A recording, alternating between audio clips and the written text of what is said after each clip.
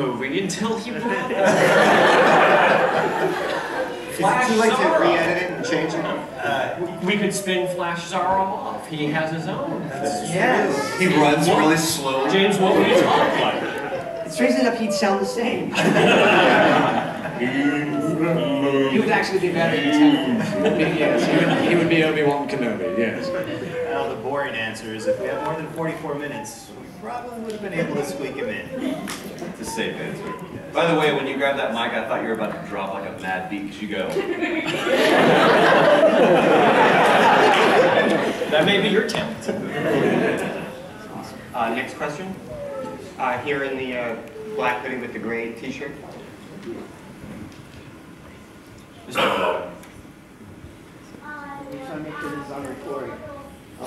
Okay, so uh, this question is a two-parter. Um, how long did it take you to do this movie with the process of animation?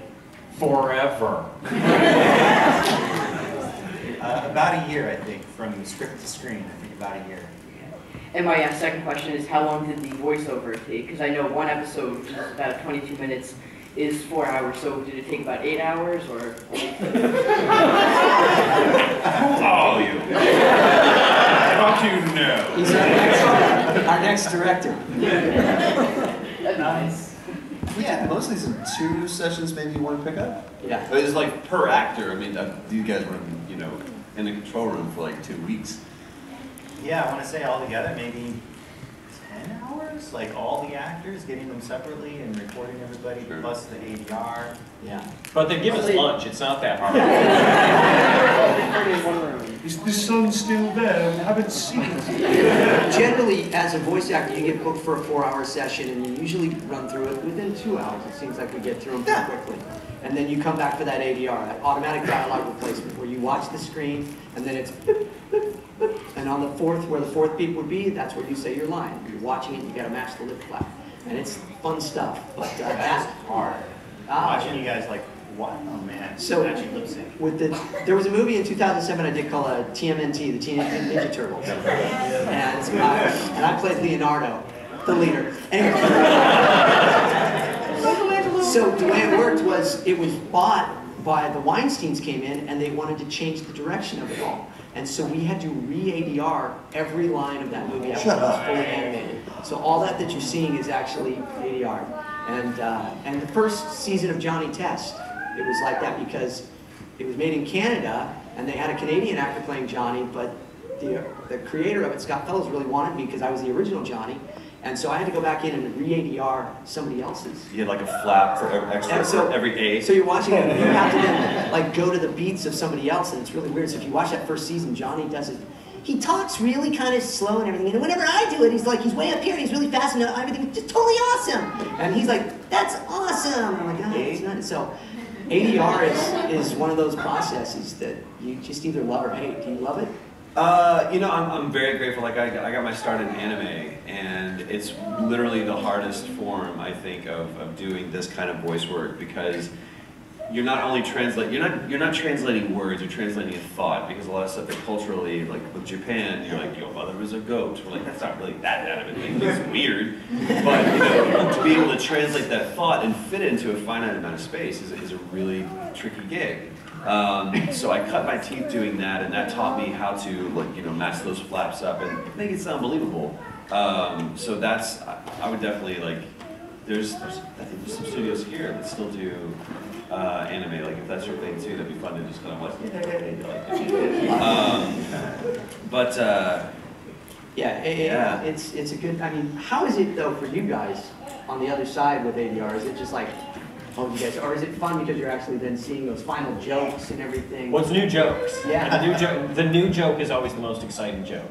And even watching it today, it was like, that was a late one. He'd be like nudging me every time. Wasn't that funny? Laugh. I always feel bad in the EDR process. Like it's so fun just like watching you guys read off the script. Because half the time we're like just cracking up. As Jim said, we're watching them from behind the glass, and uh, hopefully when you guys look up and see us, we're just like busting up. Half the time they have us in stitches. we also look ridiculous Well, doing what we do. and, and here's that's the other thing is they'll be like, like you do something, you're like, whoa, hey, and then you look at them and they go. It's always great too when you get that, great, that button like some of the studios the button sticks whatever a while. So it's like, oh, it's a great job, Troy. Just give us two seconds. Recast. It. Abs Is that button? Ah, yeah, buddy. Um, That's always our job. But yeah, it's it's super fun to, to live in that vacuum, and, and we actually make up what they're saying um, more than two, because we just see this, and it's just a bunch of gesturing. Um, so yeah. Did you do the scratch stuff ever? I, That's- I do a lot of it. Jim does a lot of it. Um, uh, Brandon is, well, we, so we, we put in jokes afterwards, uh, after they've recorded, just to add more to it. And, and Brandon and I actually do the voices in the editing room. So They'll do their version of that. Are you guys, when you guys hear those, you're like, I'm worried. So the These guys scratch- are really The good. scratch track is, uh, so like after they've animated it, they've changed a line, they'll go in and, and record that line, and so we hear it back, the scratch, because it's been animated to their voice, and then we have to fill it in kind of at our pacing and, and such. The Sod had, a one of the huge speeches there was all done in the ADR thing. Was it, did you do that? Oh, yeah. Yeah. Well But- done. But you, but Batman and Superman. So. Oh, just, Oh, Batman just let you know we're coming for you. coming hard on your heels. But that's the nerve-wracking part of ADR is like, we know we're not going to do as good as you guys, but we have to temp it in because it, something has to be there for the animators to work with. At The timing, yeah. Yeah, and so we just know that we then like kind of hamstring your performance. Like then you're locked into the lip sync that they give to our scratch. Yeah. And so a lot of times when we're watching you in ADR, it's it's all about like, okay, we're watching the lip sync as you guys are performing it. Sometimes it's just like off by you know one vowel is misplaced, and we all all go into like work face mode as we're like you know the engineer is like trying to like just scrub the frames. The to make sure technology, they can the change it now, yeah. yeah, so it's all like, like right in the room there. This is what Brandon does in, on his side of the booth. No, no, no keyboard. He just makes this Voodoo on you! That's another great part of it. Voodoo? The engineer. Oh, The engineer is such an important part of it too, and they can craft now using Pro Tools and all these things. They can, there's actually programs, right, for ADR that make it match the scratch a little more, like put syllables in the right places. It's, it's, it still needs to be finessed, but And it's the finessing that we're doing a lot of times when you guys do a line. It, it might be a little off, but instead of having to do it six hundred times to get it right, the engineer will take, you know, one of the takes and try and slide the vowels around to make them line up with the little mouth movements. So, yeah. Doesn't it, doesn't, it- aren't you less excited about animation now? You're thinking, oh, like, maybe dental school. Way to go. Okay, next question on the animator in the gray sweatshirt. Gray sweatshirt. That's you. don't you dare turn around. with the rhino on it.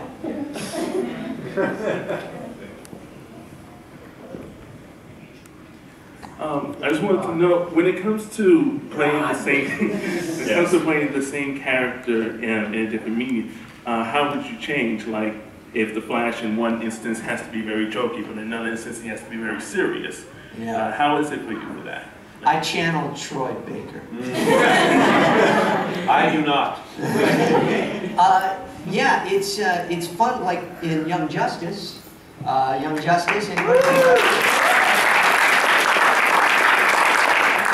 got to play the Flash, and he was more serious. It was not that wasn't a jokey Barry Allen Flash, um, and so it was totally different. You just you know, I mean, it's, it's, it all does come down to exactly what Troy was saying before. It's all about acting. It's all about living in those characters. I mean, voice actors, we live in little padded rooms and we talk to ourselves, you know.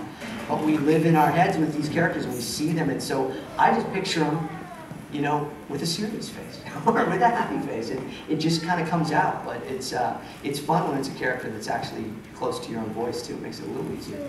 So, yeah, it's, uh, If you picture them as a Lego minifigure, it's that always changes it fun. Very fun, yeah. Uh, in the row in front, in the, yes, you in the green sweater, you had a uh, question? Yeah, yeah. You won! Um, I have a friend, and he wants to make a movie when he's older. So, what would be the best advice for him? No. No, the best, the best advice for you is sign him up and Yeah. get 10%. Yeah, You're like, I'm gonna help you make this movie, and then you just wait for the money to roll in.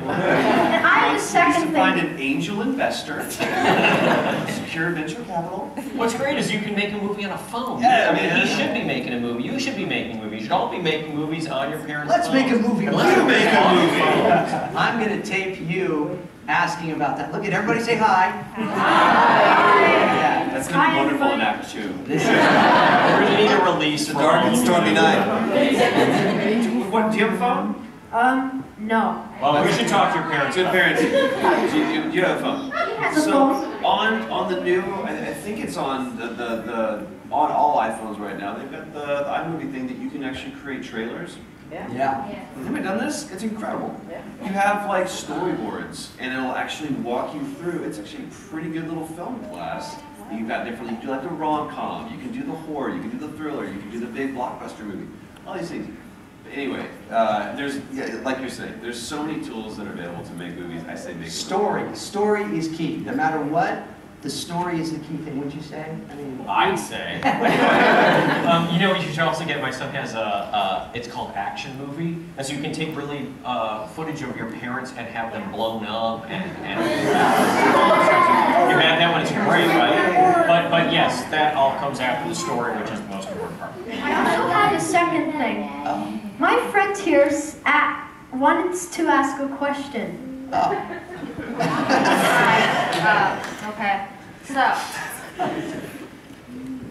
how was it in the first movie when you were playing Joker, like the villain, but then in the second movie you all of a sudden switched to the, to the hero?